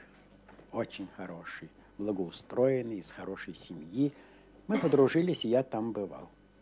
У меня, кроме чувства радости бывать в этом доме, в этом уюте, в этой красоте, какие-то картины, трюмо, зеркало, эти занавески прекрасные, кафельная печка. И мне там было всегда хорошо, очень хорошо. И я думаю, могла ли у меня мелькнуть мысль, что вот Кирилл живет так, а я живу в своей пустой комнате с мамой, папой и братом. Была ли такая мерзкая и подлая мысль? Не было. Но это же это же, это же ученый. Он получает все по заслугам. Он сделал что-то такое невероятно интересное. Его высоко ценят, в том числе и материально. Этот, наверное, я-то думаю, что этот, наверное, хапает и берет взятки, наверное, отвратительная личность. Я хотел вот так парадоксально показать это явление. Многие могут сделать мне упрек и упор на то, что их А все-таки он правильно говорит, неравенство. Да, но надо смотреть какой. То ли это вор, который тащит себе в дом неравенство, и у него черти знает что, хотя он работает каким-нибудь работником, понимаете, не буду называть какой сферы деятельности. Это одно.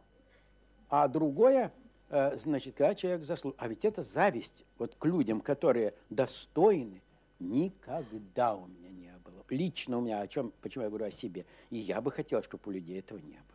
Виктор Сергеевич, а вот как вы относитесь сами к м, такому финалу рукоприкладства? О, вопрос сложный вы задаете. Понимаете, вот в чем беда, что эти люди выводят из себя, и человек хороший делается тоже в данном случае агрессивными. Что тут делать? Но мне этот удар хотелось нанести, мне это хотелось. Хамов, хамов. И вы посмотрите, но не, не просто, что их надо проучить, а мне нравился психологический ход. После того, как ему дали как следует, он говорит, да что ты, что ты, я ведь так просто, видишь, друзья, заходи. Вот это, понимаете, шушера, это ее психология. Меня интересует психология этой шушеры. Когда их бьют, они тут же моментально тебе улыбаются. Ну, тогда у меня второй сопоставить вот то, что вы сейчас говорите, с тем, что вы говорили в отношении эм, героя хозяина, и то, что вы сказали, что вы, вы бы ушли? Это разные вещи. Ну. И потом это разные характеры. Я не могу из пьесы в пьесу писать один и тот же характер, хотя ситуации могут быть похожими. Нет, ну я имею в виду, что и тут, и тут имеет место, так сказать, бескультурье, э, антиинтеллигентность какая-то. Да и во второй капле в заступнице тоже. Я как-то вот это мне все не нравится. Все это меня лично задевает. И я как-то об этом пишу, стараюсь, чтобы это видели. Мне кажется, что капля интересно будет воспринята. Интересно мне, чего это интересно, если пойдет почта зрительская, как эту каплю воспримут. Ну что же, товарищи, давайте сейчас мы сделаем, вы, наверное, утомились, я немножко. Давайте сделаем небольшой перерыв, прежде чем перейдем к следующей капле. Согласны?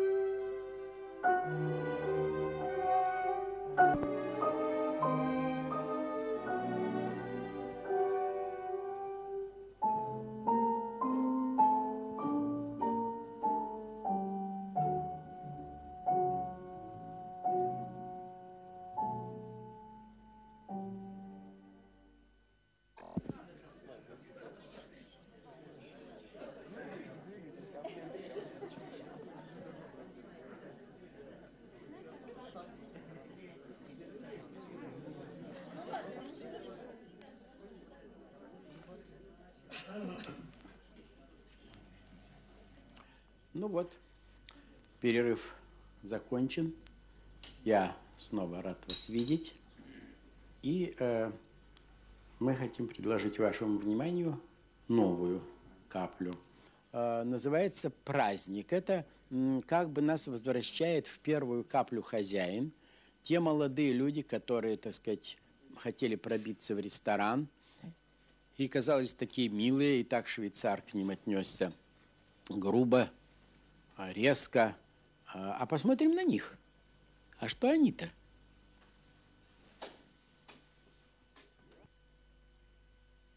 Ну вот. Так.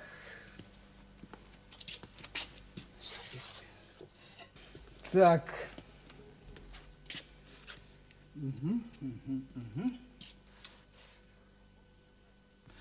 А ты не зря нашего Барбоса поставила? Ведь кокнут. Пусть красуется. Пускай красуется. И серьги прицеплю. Правильно. Надень галстук поярче, все-таки молодежь будет. Да, да. Ты знаешь, я, пожалуй, капельки приму. Жмет?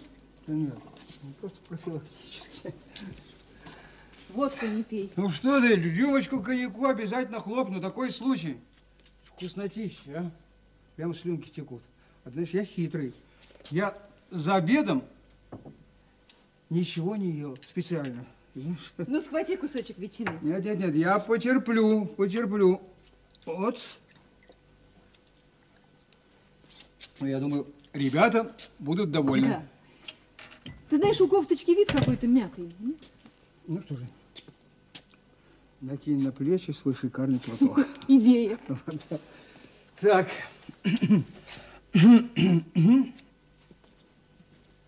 Ну вот. О, ну, царица, таких теперь не бывает.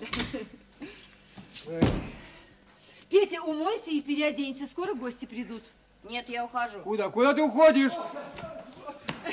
О, ну что, мужичка? Все, живо в холодильничек. Ой, мамуль, в синюю у вас Так, чоколадный, так. хорошо. Ну что, музычка, ну как же, а? Папа, все, ты хлебушек фирменный порежешь? Порежу, порежу, конечно, конечно. Петька! Я с Пузыревым, у меня физика не сделанная. Куда мой портфель засунуть? В той комнате у комода. Останься, Петя, слышишь? Раз. Увидел я костей, что ли? Ну, просто твоя сестра не каждый день диссертацию защищает. Вот-вот. Да все одно. Сначала будут такие интеллигентные, сю-сю-сю да сю-сю-сю, потом каждый что-нибудь умное изрекать начнет, а через часок-другой надерутся и похабные анекдоты рассказывать начнут. Ты гляди, а? Откуда ты взял? Вообще, когда это было, лоботряс? Да ладно, не делай наивные глаза. О, ну, Петя. Между прочим, я тебе говорила, ты ребенка язык распускать не надо. Так ведь растет, растет, дурачок. Ну я к Пузыреву, у них и заночую. Пишите.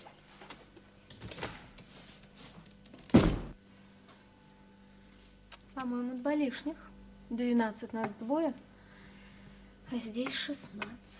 Так еще Нина Сергеевна и Андрей Иванович. Да, Да. господи. Петька, и тот догадался. Не знаю, ну неужели они что, сами не понимают? Вот совершенно чужие люди. Тише, музычка, тише. Почему тише? Я очень люблю и папу, и маму, но согласен, что здесь они совершенно ни к чему. Рассядутся, ну что, все будут только смущаться. А папа вообще после первой же рюмки начнет вспоминать, как он партизанил в свои 18 мальчишеских лет. Это так всем интересно прямо по сотому разу. И мама будет всех пичкать. Что, она думает, что наши гости из деревни приезжают, что ли? нет, ну все верно, но ведь, понимаешь, неудобно. Как-то неудобно это. Понимаю. Дураки мы с тобой все-таки. Вот помнишь, в прошлом году у Гоги, когда отмечали докторскую? Ну, помню. Помню, так он родителям там своим достал билеты в театр. Современник, между прочим. Знаешь, как они довольны были? И все счастливы. А ты? А что я? Ну, сообрази ты, ну можно было. Ой, какая ты шляпа прямо. Ну, не знаю, ну в консерваторию бы взял билеты. Они и туда бы пошли, с удовольствием. И вообще, почему они не пошли сегодня к Алисе Игоревне? Господи, ну, пожалуйста, тише, музычка, тише. Вот. Папка у нас прямо на все руки. Посмотрите, какие изящные ломти. Ну, ребята, я вас только прошу, не разбейте Барбоса. Спрячь его, если жалко, положи в сундук. Музычка, не жалко, не жалко. Это просто так сказал. Значит, ребята, ты, значит, со Степаном сядешь здесь, тут гости, а вот здесь, это, значит, с мамой наши места. Мы будем с краюшку. Со стола не вскакивайте, мы все сделаем сами. Как? Вы что, не идете к Алисе Игоревне разве? У меня же день рождения сегодня. Или нет, подожди, завтра я путаюсь. Музычка, мы твой праздник не променяем даже на нашу милую Алису Игоревну. Папка. Вот так вот. было. А я бы и не обиделась. Правда, и очень бы даже вас поняла. Ну, конечно, что наши гости, какие-то чужие вам люди. Ой, а это Алиса Игоревна, это фронтовая папина подруга. Мама. Ну, конечно, будут все свои, все ваши.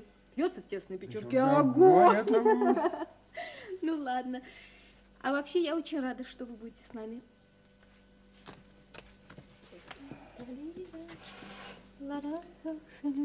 Мы тоже.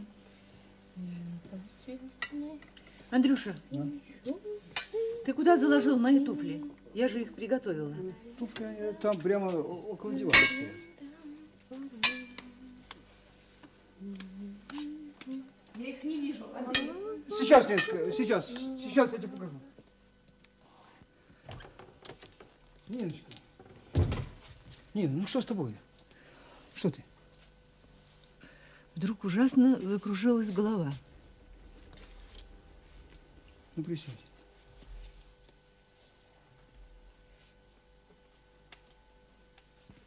Ты знаешь, по-моему, Нина Сергеевна догадалась. А что я такого сказала? Позови их.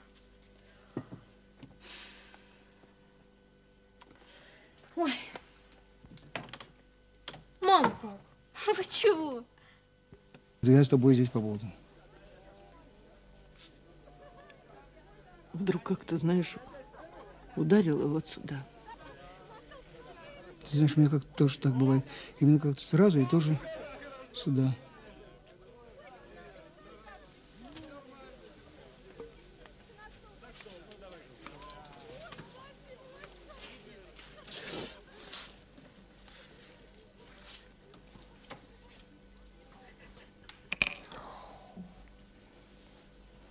Нина, я тебя прошу, миленькая, ну, Нина, успокойся. Ну, успокойся. Ну, что... Нестерпимая боль. Ну, хочешь, я тебе пятерчатку дам? У меня где-то пятерчатка. Если я тебя прошу, ну, ну, Ничего пройдет. ну, иди, иди, маленькая, ну, что ты? Ну, присядь. Ну, успокойся. Ну, немножко легче стало, да? Чуть-чуть. Ты иди, Андрюша. Музе и Степе помочь надо. Ничего, закуска там на столе, пускай пока закусывают. Ну, полежи. Ниночка, полежи минут 20, и все пройдет, все будет хорошо. Я тебя прошу.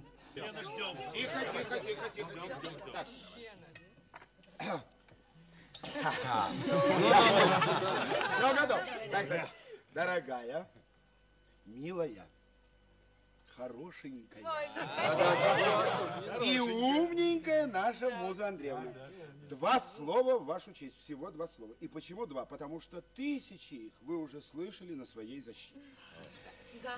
Ваша диссертация дорога нам Ой. тем, что в Да. ней затронуты такие тончайшие и глубокие нюансы человеческих взаимоотношений. Уловить, учуять которые... Нет, нет, нет. Может только женское, тонко вибрирующее от малейших... Женская натура. А? Да. Вот. Вы барометр нашего времени. Термометр.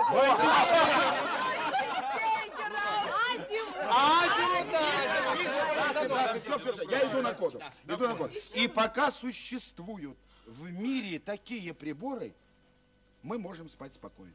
И поэтому с чистой совестью и с ясной душой мы можем выпить.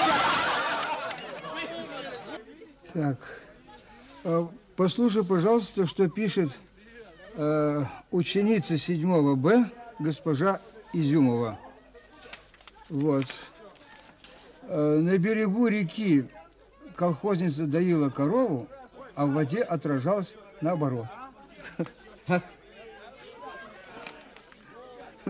Это она тебе свое остроумие на показ выставляла. Не исключено. Совершенная бандитка, но одаренная исключительно, особенно в математике. А вот еще первым. Они теперь все развитые. К сожалению, нередко в одну сторону. Вот еще. Огуречников Павел. Под аплодисменты присутствующих молодая доярка сошла с трибуны, и на нее взобрался пожилой колхозник. Как тебе это нравится? Подойди ко мне. Что? Сядь.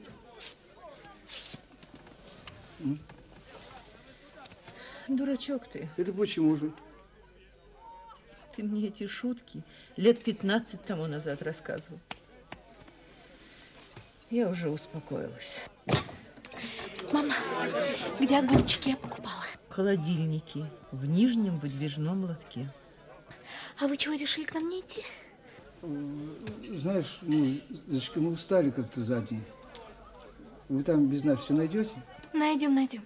Отдыхайте. Замаялась, я ж понимаю. Да, да, да, А как голова твоя? Спасибо, лучше. Ну, хорошо.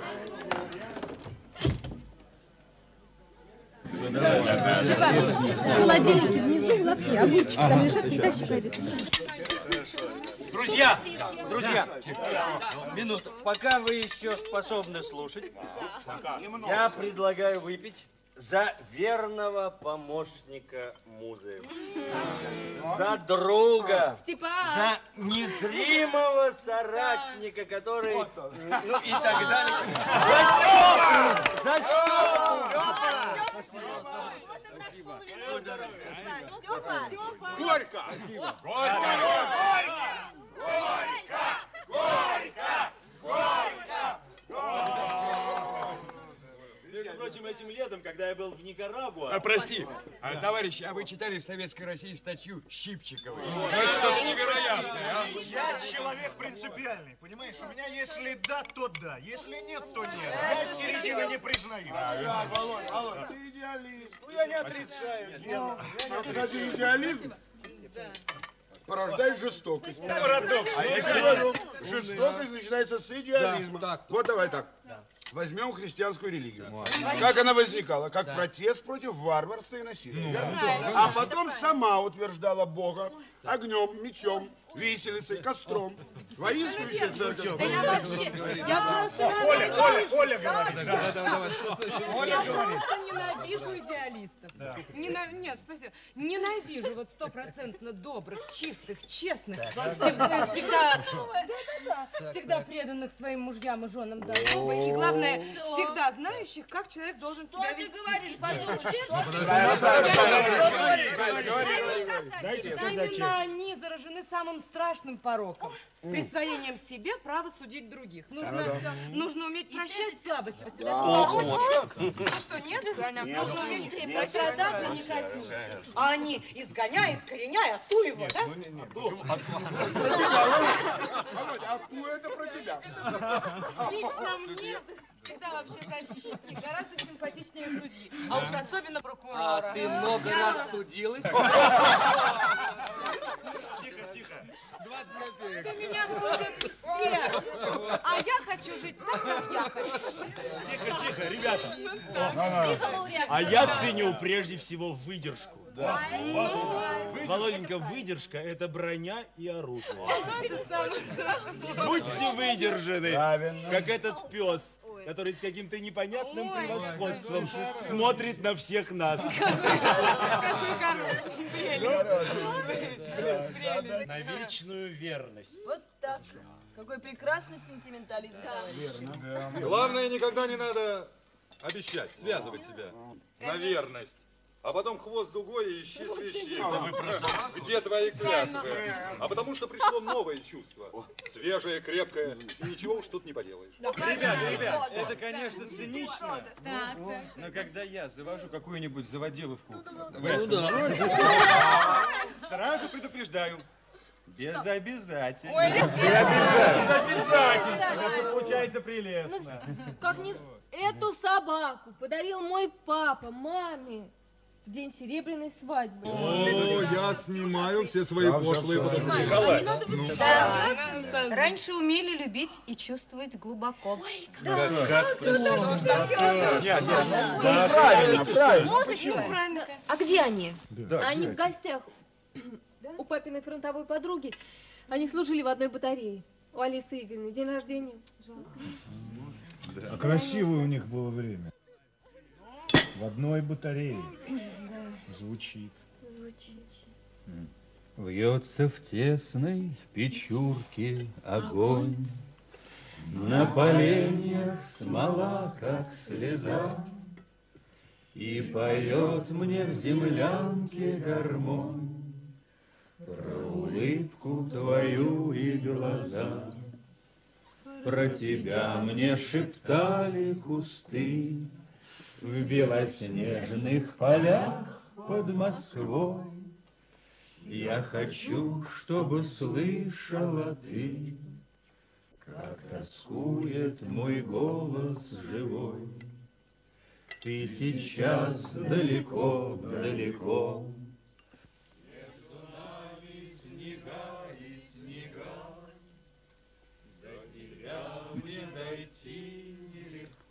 Знаешь, они неплохие ребята. Просто иные. И мы никак не можем с ними смонтироваться. Ты голоден? Пойди поешь Да что-нибудь. нет, чепуха, чепуха. Ты, знаешь, перегорело у меня все. А ты, наверное, хочешь есть. Да нет, я пока готовила, Схватила того, другого, третьего. Как раз это.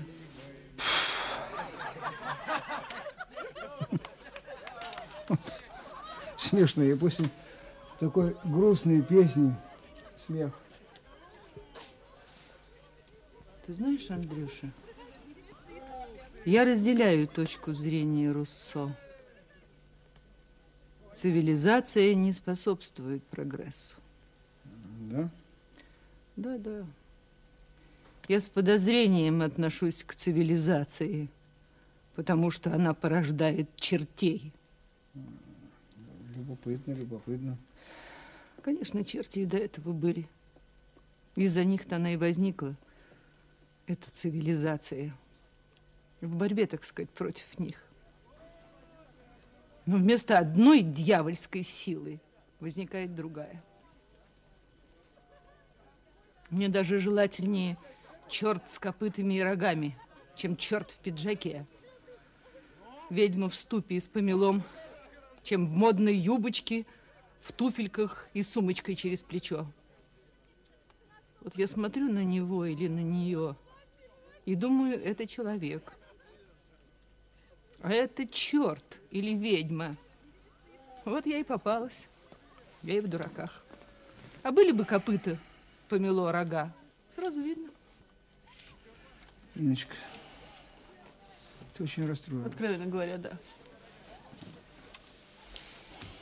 Чем горячее мы их любим, тем они к нам безжалостнее.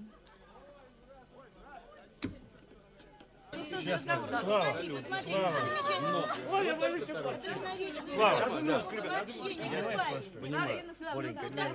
я не понимаю, я понимаю тебя. Ну, щекотно же, что вы? Ой, ну, Музычка, ну ты не расстраивайся, это к счастью. Музычка, разбить собаку это самое большое счастье. Что ж ты какой-нибудь там тарелка. Ну ладно, ну перестаньте, ну что Это докторский, можно защитить докторскую. Правильно. Квартиру из трех комнат. Ну, Муза, ну что, будем расстраиваться в день праздника? Ну, правильно. По-моему, они разбили Барбоса. Нет, что-то металлическое упало. Нет. Нет, они разбили Барбоса. Допустим, но бывают и пострашнее события. Я даже их понимаю. У музычки большая радость, большое событие, успех. Андрюша, Андрюша, они звереют. Они звереют от этих своих успехов. Они ничего вокруг не видят, ничего и никого. Им только успех подавай, успех, успех, успех. Ну, посади за стол отца и мать на 10 минут, а потом гуляй, торжествуй вампирствуй. Ну, не, не Ты ужасно. понял, что они нас не хотят, не хотят. Мы им не только не нужны, мы лишние, мы им в тягость. Мы любим их какой-то звериной, зоологической любовью. А в ответ... Ку-ку. Какой тут? Мамочка, а где у нас щетка и совок? Мы разбили тарелку.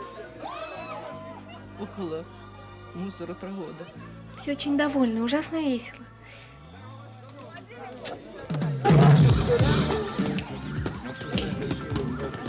Кто-нибудь, ой, господи боже. Даша?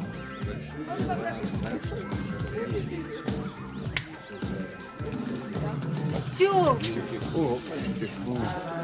Степушка, милый, там в кухоньке где-то лежит веничек и совочек. Принеси.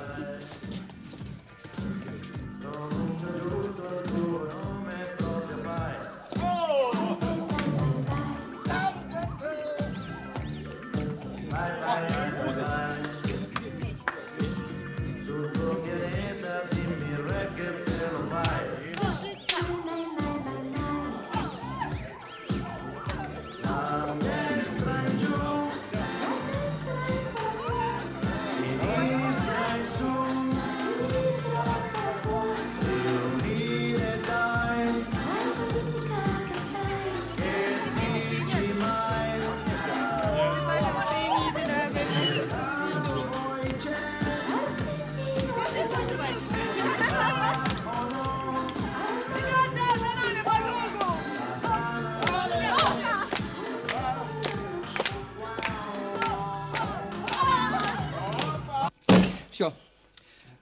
Где мой пиджак?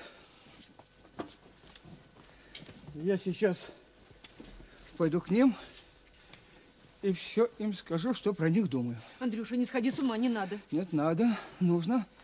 Для них же нужно, а то не совсем оскотею. Не смей. Ниночка, пусти меня. Не пущу. Я пусти. Я не хочу, чтобы ты находилась в таком унизительном А положении. я, чтобы ты. Не- Сядь. Нина, я... Сядь, я тебе сказала. Сядь. Разнервничаешься, тебе же плохо будет. Смотри, как пульс у тебя уже прыгает. Да. Подыхать нам надо, конечно, подыхать, подыхать. Рано нам еще подыхать, мы еще до пенсии не дожили, подождем умирать. Жалко, что мы к Алисе Игоревне не поехали. Я бы с ней в шахматы сразился. Ну, Как она меня выставила. ну прошлый раз. хорошо, хорошо, сыграй со мной. Нет, ты плохо играешь. Ну, я напрягу все извилины. Да нет, когда я с тобой играю, я на тебя злюсь. Я Ну, не давай хочу на тебя попробуем. злиться. Давай попробуем. Давай попробуем. А, товарищи, совсем забыл, вчера устакал замечательный анекдот. Он несколько... Громче, громче. Подожди, он несколько... Разговаривает. Ну, француз, американец, русский. Уже свернул.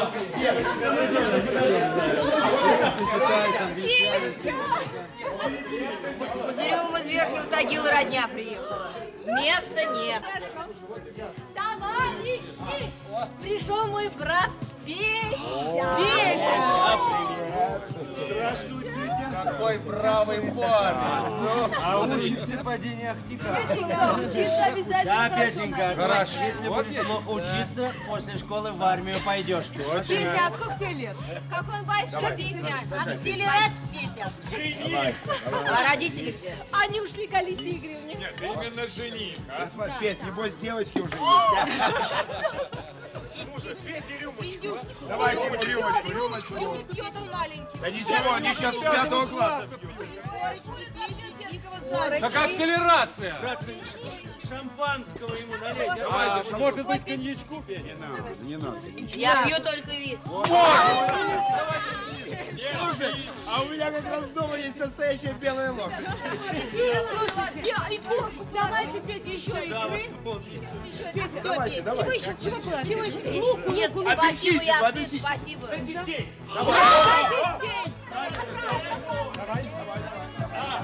Теперь это самое главное прирост населения.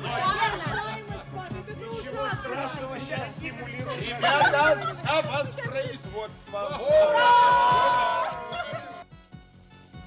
Как, вы тут? А что тут особенного? А, Муза сказала, что вы ушли к Алисе Игоревне. Да?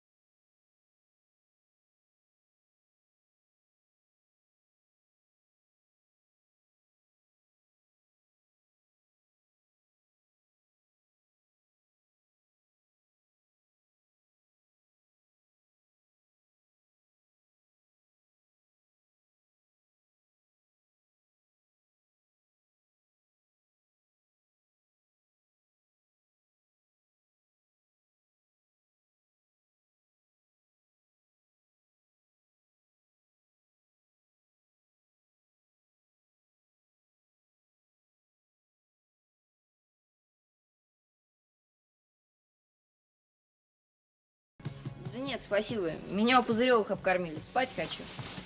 Только мы с Пузырем собрались улечься, к ним родственники приехали. Из Верхнего Тагила. Валиваются так трое. Чего-то покупать приехали.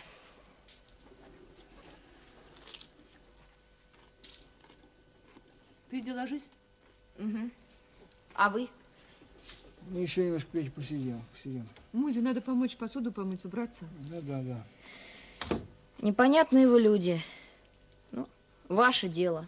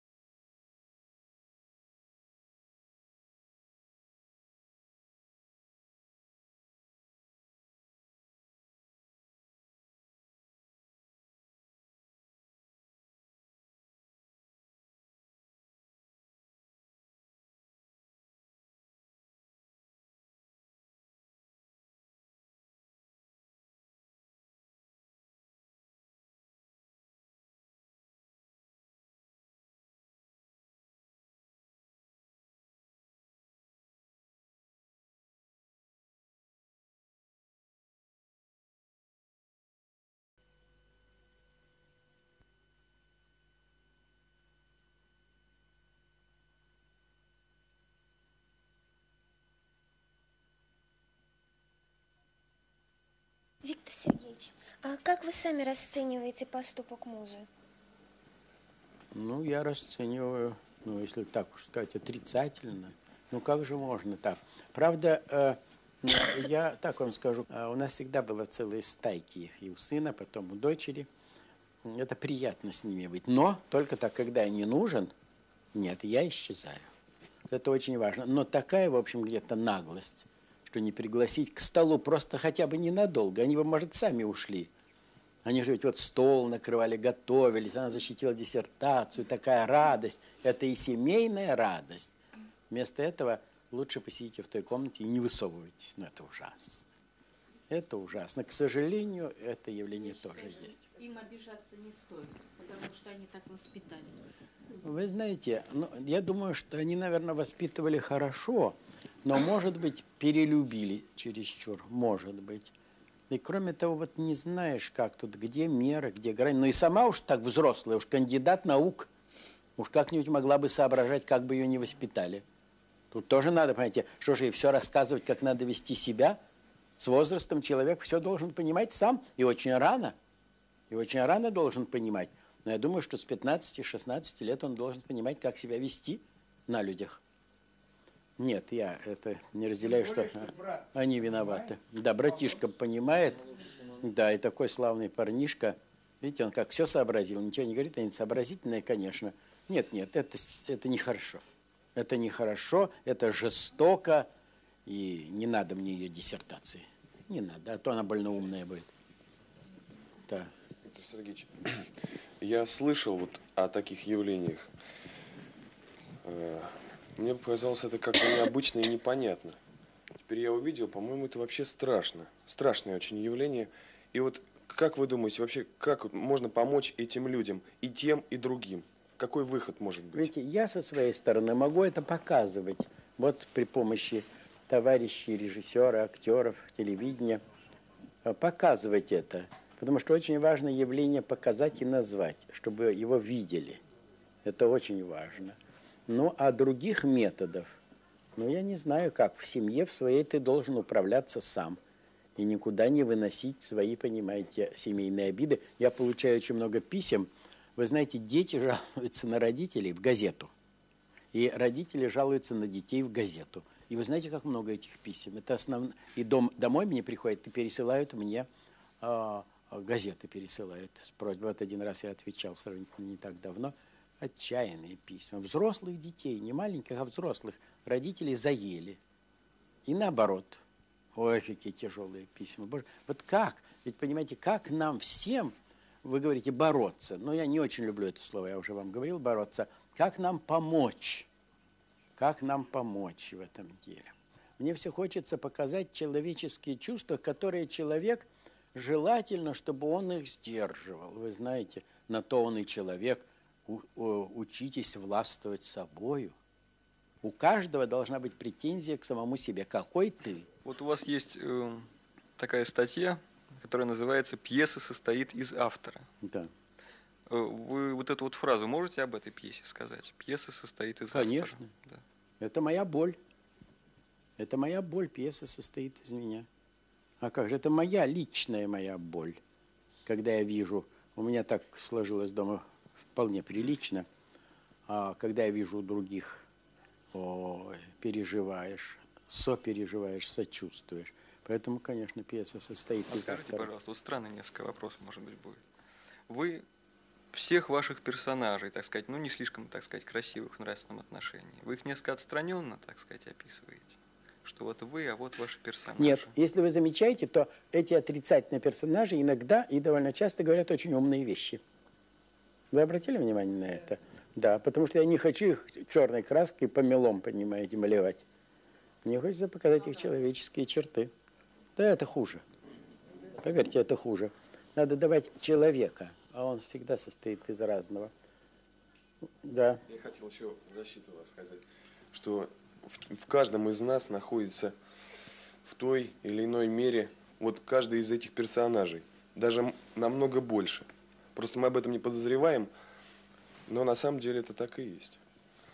Да, конечно. Я человек, ничто человеческое мне не чуждо, сказано еще в древние весьма древние времена. Я человек, ничто человеческое мне не чуждо.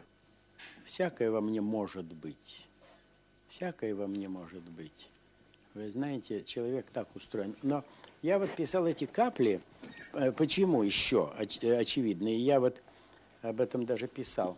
Что я за свою жизнь, очень нелегкую жизнь, я видел столько участия человеческого, столько участия, человеческого участия, что меня особенно это ранит все. Может быть, именно потому, что я так много видел. Столько людей прошло, э, так сказать, э, ну что ли, не я прошел мимо стольких людей, со столькими встречался, столько они мне дали, эти люди. Вот я приведу только один пример, я, по-моему, не приводил. Меня привезли тяжело раненого э, во Владимир. Все бомбят, там сначала Вязьмин лежали на земле, потом вагоны, теплушки. Значит, мне говорят, ногу ампутировать вам выше колена. Я говорю, конечно, пожалуйста. И маску положили на лицо. И я стал считать, говорит, считайте там до 10, до 20, но я до трех досчитал. Раз, два, три. Я так был измучен, из меня все вытекло.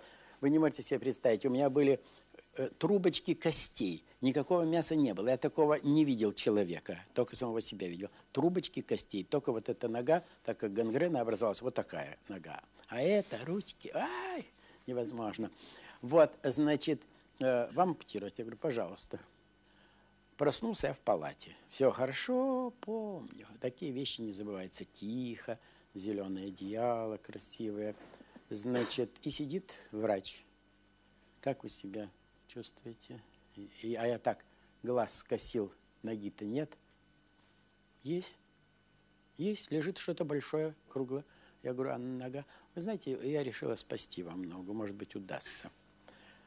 «А Вы э, что хотите? Я говорю, пить. На быстро пить. Педагог говорит, есть хотите? Я говорю, да. А ведь голодные. Господи, сколько суток с фронта везли, в общем, ничего нет, в теплушках, под бомбежкой. Значит, э, я говорю, а что бы вы хотели съесть?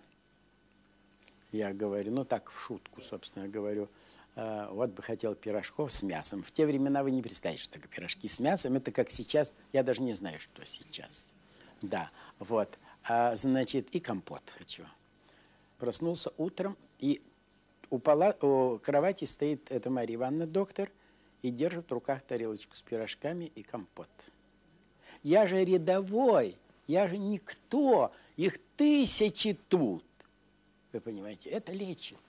Это лечит. Человеческая доброта, человеческая щедрость, отзывчивость, она лечит, как не знаю, какое лекарство. Что вы? Я даже заметил, тоже писал об этом, что когда дежурят хорошие няни, хорошие сестры, больные реже умирают. Когда дежурят э, сестры формальные, раздражительные, и няни тоже, умирают чаще. Это замечено не только мною. И именно сначала не мною, я потом это проверил. Знаете, так что поимейте это в виду. Всегда, всегда оказать кому-то участие, внимание, ласку, что-то сделать доброе – это самое великое дело, что-то. Для чего жить? Для того, чтобы помогать жить другим. Ну что же, друзья мои, вот я с чувством сожаления с вами расстаюсь, потому что было очень приятно с вами сидеть. Ваши лица людей заинтересованных, и это всегда приятно. Я понимаю, что все проблемы, которые вот так очень немножко этих проблем я затронул, э, вас где-то тоже задевают. Всего доброго. Счастливо вам.